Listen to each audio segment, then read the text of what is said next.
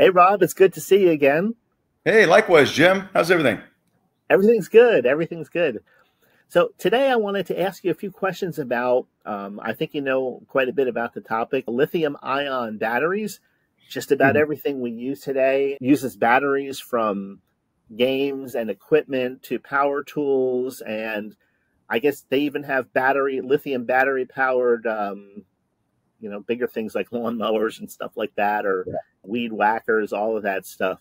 So, if you're going to move internationally and you want to take your equipment with you, then what do you have to be aware of? What's what's legal and what's not? Does it depend on the country you're moving to, or is it just basically the same in, let's say, Europe, all of Europe, or all of North America or Central America? How does that work?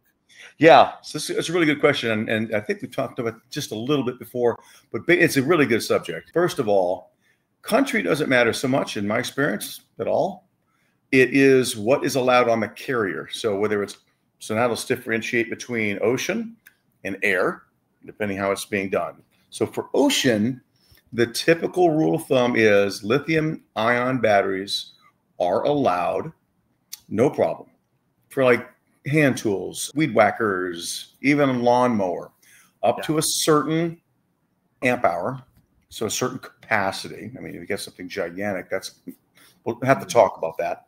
Um, and sometimes they have to be depleted down to 30% or less. It's always a good idea to do that when you're shipping internationally, ocean. But they should be inserted into the appliance for which they're designed. So if I've got a power drill, I'm going to have it in power drill. And if I have the power, no, likewise. Beyond that, spare batteries are a little bit tricky. I mean, they're not tricky. It, it, depends on the number of spare batteries. I was just dealing with someone the other day, and he's, you know, real handy. He has been his whole life. He's moving to wherever, and he's got all these tools, all these tools. I said, no problem. Put the battery in the appliance. He said, well, I have a hundred, about hundred spare batteries. Hmm. I said, hmm, that's quite a few. So basically, we just have to understand that and make sure that we're doing the right thing. So, you know, sometimes there's a limit on how much you could take because now you've got, you know, a real situation there.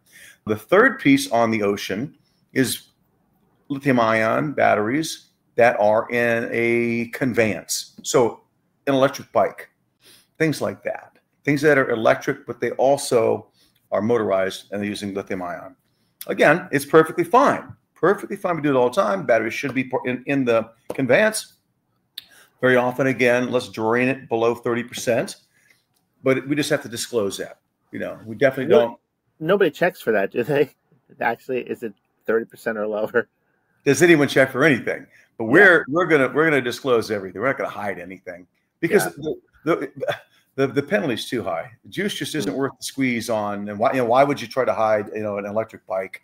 You know yeah. we just need to, we need to know about it, and we need to disclose it on the form so that when it comes you know it's on the boat, everyone knows. No one's no one's been doing anything funny.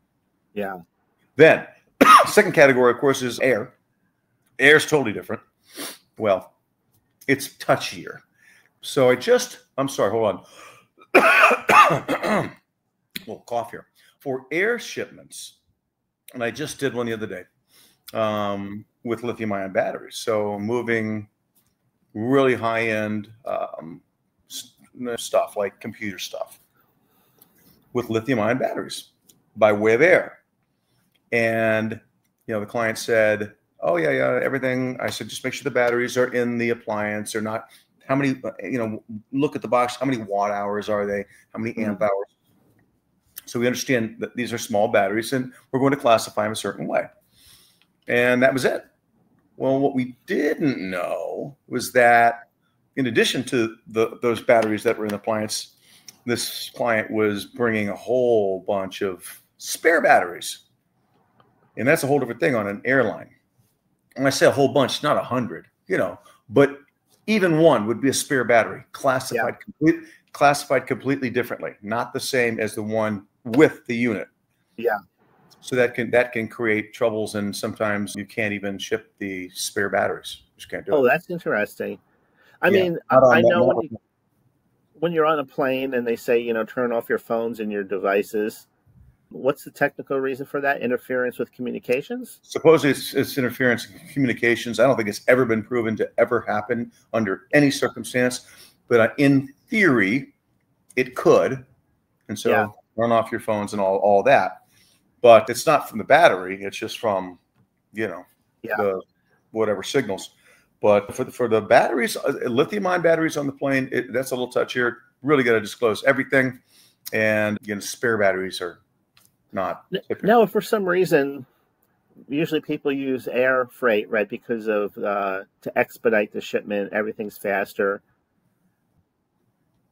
Suppose you have your spare batteries denied at that entry point.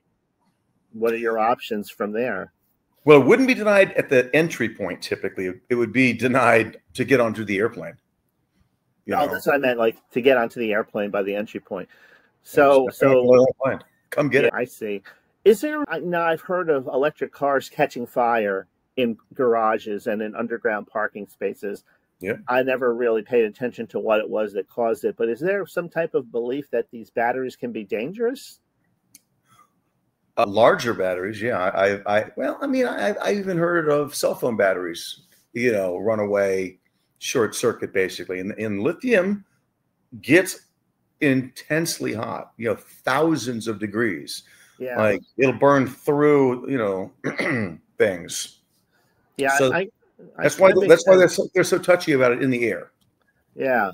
But usually that's when it's in the unit, whatever it's contained to, that the heat ish would become an issue when it's in use. That's curious that I'm sure they have reasons behind it, whatever the reasons are, right? It's like well, you know, lithium ion that large enough to propel a car. You know, we're talking about a hundred amp hours. You know, these huge batteries. You know, they if they one of them runs out of control on a boat, I mean, you're not going to stop it. I mean, we've seen the boat sink full on car carriers sink with wow. Lamborghinis and, and, because you know some of the lithium ion uh, went bad somehow.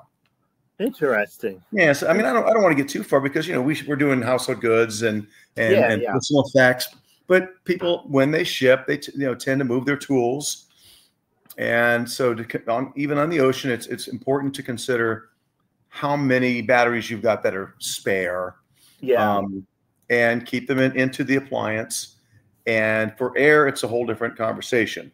Absolutely move lithium ion devices by way of air, but it's it's dicier or uh, almost impossible to ship the spare batteries.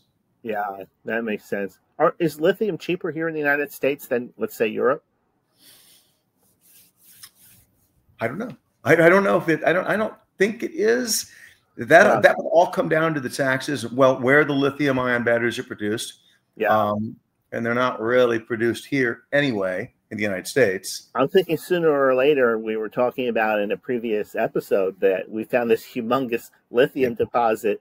Was it in Nevada or, or California or in California? Something? There's a place in California outside Palm Springs, kind of called the Salton Sea. Yeah, and that's it's, right. It's like a giant lake that came to be during after a flood in 1940 and never left. And yeah. in like the 50s, it was going to be the new paradise, absolute new paradise on earth. Um, and they started building, you know, resorts and restaurants and developments around the lake. But then the lake started receding. And really, the, then the lake started, you know, it's all just farmland runoff going into yeah. this lake or sea. And so it's polluted. There's no fish and it's really acidic from all the runoff or alkaline, one of the two, I can't remember. And so it never became anything. And it's just kind of this there's a Salton Sea. Beautiful, huh? But it's yeah. not. But they found the maybe the biggest, one of the biggest lithium deposits right there. So, yeah, as long as we're using lithium ion batteries, and who knows, we're using nickel metal, uh, nickel cadmium and nickel metal hydrides previously, and lead yeah. acid before that. Who knows what's next? But as long as lithium seems to be the thing, that yeah, it's pretty neat. Maybe yeah. that thing will come back. yeah, who knows? Not as a resort, but certainly, you know, it be a big factory there. yeah, exactly. All right, Rob. So if somebody has questions, they can reach out to you, right? We can put your number on the screen. Absolutely, reach out to me. I pick up, email me, and or or any one of our very very experienced relocation specialists. Anyone can answer these questions, and and based on your circumstance, not your circumstance, a client's circumstance, walk them through, you know, what's going to be necessary so that the, we don't have problems. Cool. All right, Rob. As always, thanks for your time. For those of you watching, thanks for watching. We hope you enjoyed it, and we'll see you in the next episode. Thanks, Jim. See you later, Rob. See ya.